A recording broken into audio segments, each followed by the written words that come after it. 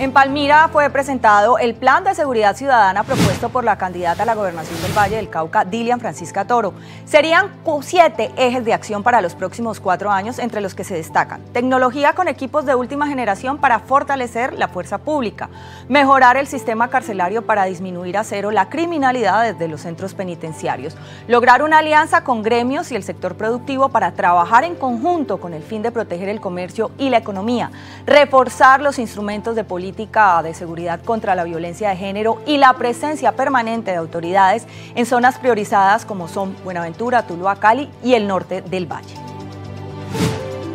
Una, una alianza por la seguridad del Pacífico, por toda la, la, problemática eh, de seguridad que vivimos y social en el Pacífico. Pero además en nuestra región, en nuestras ciudades, tenemos que abordarla desde la parte institucional, eh, pero también con, con pues, todo lo que tiene con el plan de seguridad y convivencia ciudadana. Tiene que ver con la, con la parte institucional, la interinstitucionalidad, las tecnologías al servicio de la seguridad.